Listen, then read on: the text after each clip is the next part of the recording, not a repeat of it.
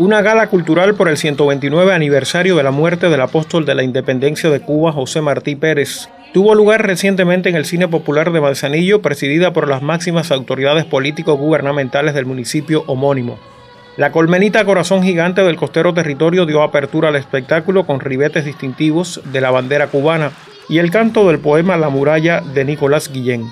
Un poco más tarde, el niño Lincoln Jefferson, estudiante de la Escuela Profesional de Arte Manuel Muñoz Cedeño de Bayamo, interpretó magistralmente temas de corte patriótico y en favor de la paz en Palestina y el Medio Oriente, acompañado del proyecto danzario Arcoíris en Movimiento. En otro momento, la organización de pioneros José Martí en Manzanillo entregó a este niño cantante un reconocimiento especial.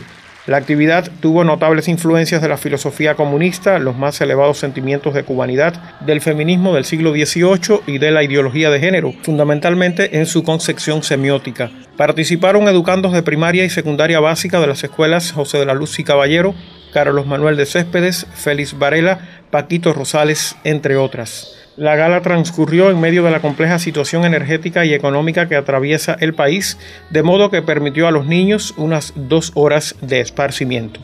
Reiniero Olivera y José Ortiz Benet, Sistema Informativo de la Televisión en Granma.